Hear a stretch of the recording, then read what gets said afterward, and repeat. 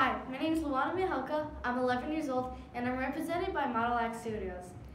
I just got the best Christmas present ever. My family's going to Disney. I love Disney. They have the best rides and the coolest shows. We went last year. My favorite was the Haunted Mansion. So put the best Christmas present on your list next year. A trip to Disney. It's like I'm never supposed to get dirty, right? I'm supposed to stay clean all the time and never get messed up. Hey, nobody can stay clean all the time. It doesn't make sense, but my mom expects me to never even get the littlest teeny weeny speck of anything on me, ever. Is she kidding or what? Last week, Mary Sanders and I cut through the vacate lot, and guess what? I tripped over something and really gross on my new jacket. A real mess.